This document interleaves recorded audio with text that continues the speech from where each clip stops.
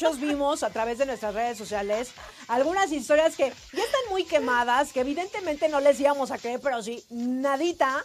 Entonces, miren, para el próximo año, si van a hacer algo y quieren que realmente pues uno se sorprenda, pues pónganse ingeniosos, ¿no? Ya eso Sí. de estoy embarazada, me voy a casar, regresé con mi ex, son de las cosas que más vemos eh, en, en las redes sociales. Pero bueno, mejor vámonos en este momento a una noticia y algo que seguramente va a estar en mi 2022, ya, ya, ya, ya me vi, ya hice algunos, pero algo que sea real. Recuerden que estos propósitos que nosotros hacemos para el, para el siguiente año, casi todos es, como para el siguiente año, para el siguiente año, que podemos ejecutarlos cualquier día. Lo que pasa es que siempre buscamos como un pretexto, una excusa de algo que sea diferente para poner acción. Pero fíjense, no sé si a ustedes les pasa y los que nos están sintonizando en el programa, háganoslo saber.